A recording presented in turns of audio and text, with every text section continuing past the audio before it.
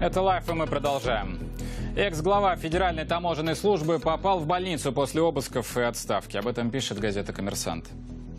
О госпитализации Андрея Бельянинова изданию сообщили сразу несколько источников. По версии одного из них, бывший глава ФТС попал в центральную клиническую больницу из-за обострения хронических заболеваний. Они могли быть вызваны стрессом. По словам другого источника, Белянинов просто хочет пройти углубленное обследование. Его результаты могут понадобиться, если бывшему начальнику предложат новую должность. Как отмечает коммерсант, пребывание Белянинова в больнице может отразиться на сроках расследования уголовного дела, по которому бывший глава ФТС проходит как свидетель. Напомню, расследует незаконное пересечение границы России крупной партии и неуплаты пошлин.